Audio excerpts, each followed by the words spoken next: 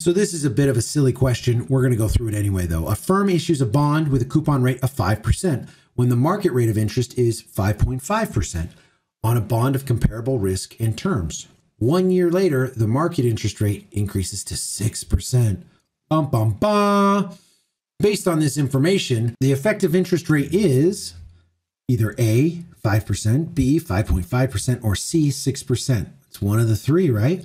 Well, you probably can guess that it's not going to be A. That was the coupon rate, right? So this is uh, this is a coupon rate of 5%.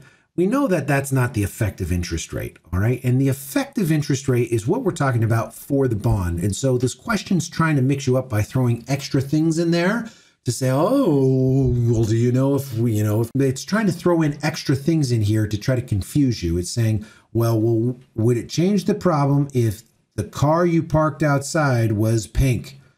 When it, the question that it doesn't relate to it. So the 6% doesn't matter. We issued the bonds when it was 5.5%. That is the effective interest rate. That is what matters. So the correct answer is B.